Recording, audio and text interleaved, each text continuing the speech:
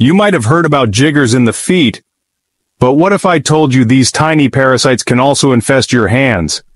Jiggers or tungiasis are more than just a skin problem. They can lead to severe infections, deformities, and even permanent disability. Stick with me as we uncover the shocking truth about hand jiggers and why they're more dangerous than you think. So, what exactly are hand jiggers? Jiggers are tiny parasitic fleas, scientifically known as Tunga penetrans. They burrow into human skin, usually in the feet, but in extreme cases they also infest the hands. This happens when people scratch infected areas or come into contact with contaminated surfaces.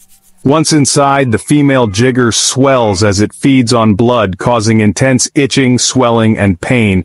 Over time, multiple jiggers can infest one area, leading to disfigured hands and fingers.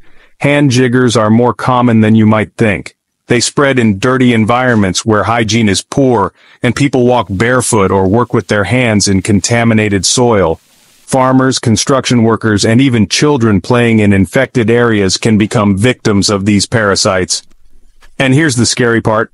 Once a jigger burrows into your skin, it lays eggs, starting a cycle that can lead to serious infestations.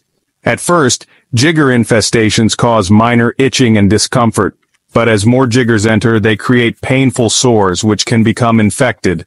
Severe cases lead to deformities, the hands become swollen and disfigured, Open wounds invite bacteria, causing pus-filled abscesses. Fingers can stiffen, making it difficult to hold objects. Jigger-infested wounds can also expose victims to tetanus, a life-threatening disease. Some people are left unable to work or even perform daily tasks due to hand jigger damage. So, how do we fight back against hand jiggers?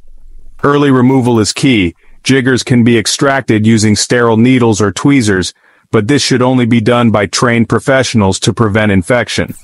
Soaking the hands in antiseptic solutions can help kill jiggers and reduce inflammation. Topical antibiotics can prevent secondary infections.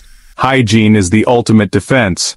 Washing hands frequently, wearing gloves while working, and maintaining a clean environment can stop jigger infestations.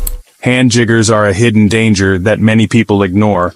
But, with the right awareness, treatment, and prevention, we can stop them from ruining lives. If you found this video informative, don't forget to like, share, and subscribe. Let's spread awareness and help those at risk. Stay safe, and see you in the next video.